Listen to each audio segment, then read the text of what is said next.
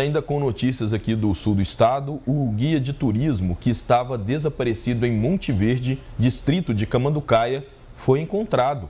Josmar Pereira de Brito, de 44 anos, havia desaparecido há 10 dias. O guia havia desaparecido durante uma trilha no distrito de Monte Verde, no dia 19 de julho. Segundo a polícia militar, ele estava bastante debilitado e ferido.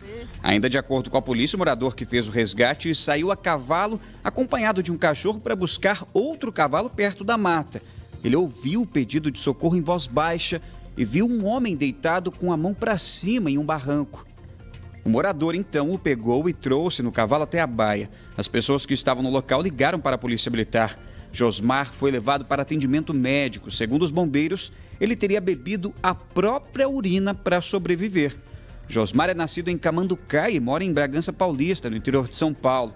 O carro dele foi localizado no dia em que ele desapareceu, perto da área de mata. Os bombeiros fizeram buscas na área de mata fechada em mais de 500 mil metros quadrados, com a ajuda de cães e drones. As buscas duraram quatro dias até serem encerradas pelos bombeiros.